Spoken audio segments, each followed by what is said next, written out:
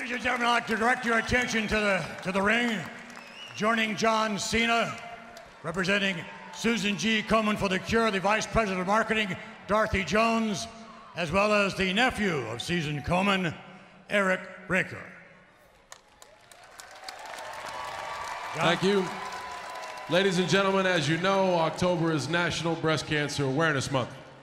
Susan G. Komen is a clear leader in raising breast health awareness and fighting for a cure. So when WWE chose to join this fight, it gave us an unbelievable honor to stand side by side with Susan G. Komen. You guys know the WWE superstars. Sometimes we don't agree with each other. Actually, we never agree with each other. But when it came down to backing this cause, every WWE employee and every single WWE superstar agreed that we should all join and help the fight.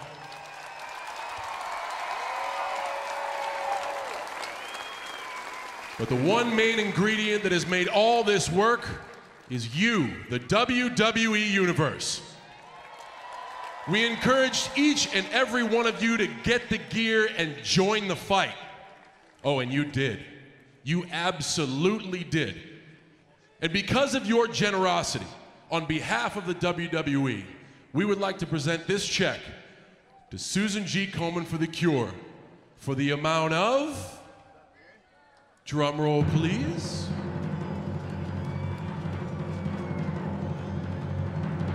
one million dollars.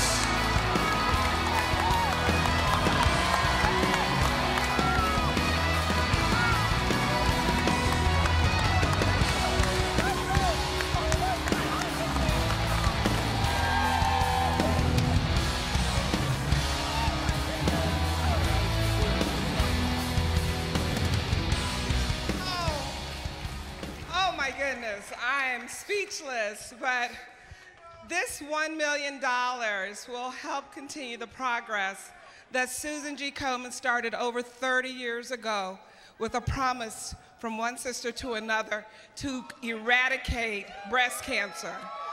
And it's just amazing of what this will do for us with education, early detection, prevention.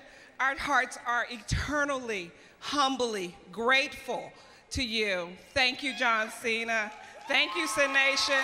Thank you, Vince McMahon and the WWE Universe to help us rise above cancer. Thank you. Thank you, Dorothy. Thanks again, to all of you. I'd like to remind you exactly where your generosity goes. You, ladies and gentlemen, have provided the gift of life.